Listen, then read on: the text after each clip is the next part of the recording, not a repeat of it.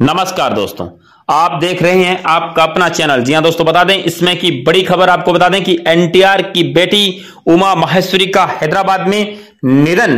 जी हाँ दोस्तों, बड़ी खबर हैदराबाद से आ रही है। आंध्र प्रदेश के पूर्व मुख्यमंत्री एन टी रामाराव की चौथी बेटी के उमा महेश्वरी की सोमवार को जुबली हिल्स स्थित उनके आवास पर कथित तौर पर आत्महत्या कर ली गई है। उमा महेश्वरी कथित तौर पर कुछ स्वास्थ्य समस्याओं का सामना कर रही थी। पिछले कुछ महीनों से उनका इलाज चल रहा था। सोमवार को वह कथित तौर पर अपने बेडरूम में पंखे से लटकी मिली। जुबली हिल्स पुलिस ने मामला दर्ज कर शव को पोस्टमार्टम के लिए भेज दिया है। पुलिस को अंदेशा है कि स्वास्थ्य संबंधी दिक्कतों को लेकर डिप्रेशन में चली जाने के कारण उसने अपनी जीवन लीला समाप्त कर ली होगी।